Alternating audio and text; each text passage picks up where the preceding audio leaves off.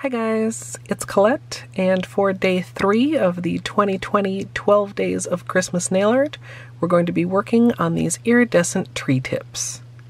If you love nail art, be sure you're subscribed to my channel, My Simple Little Pleasures, and if you'd like to see how I did this, just stay tuned. Starting out with clean dry nails, I'm going to begin with a base coat. Today I'm using a Holo Taco Peely Base, and you can use whichever is your personal preference. For my base color today, I'm going to be using Holo Taco Not Milky White. Later on, after the cellophane, I'll be using Holo Taco Scattered Holo Taco.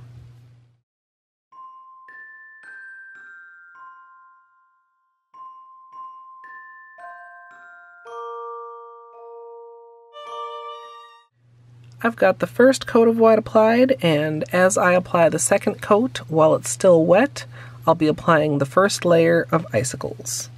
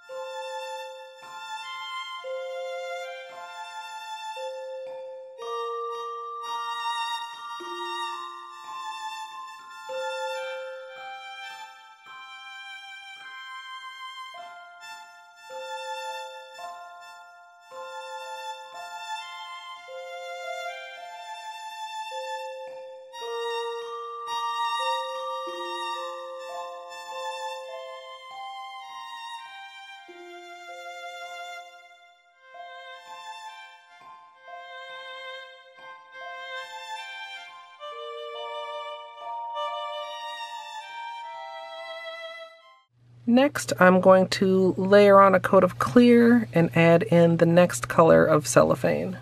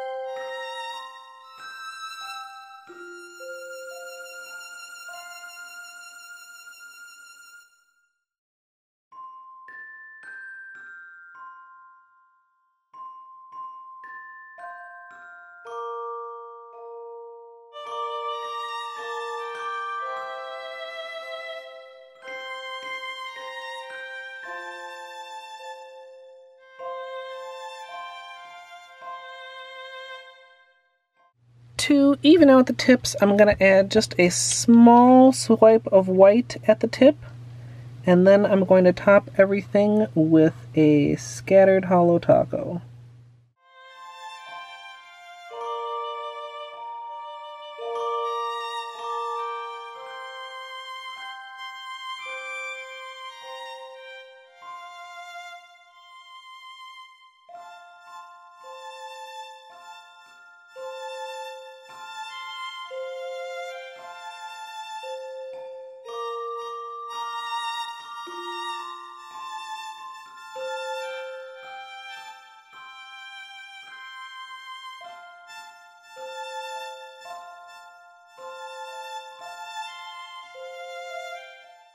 Finally, I'm going to finish with a top coat, and as usual, I'm using Seche Vite.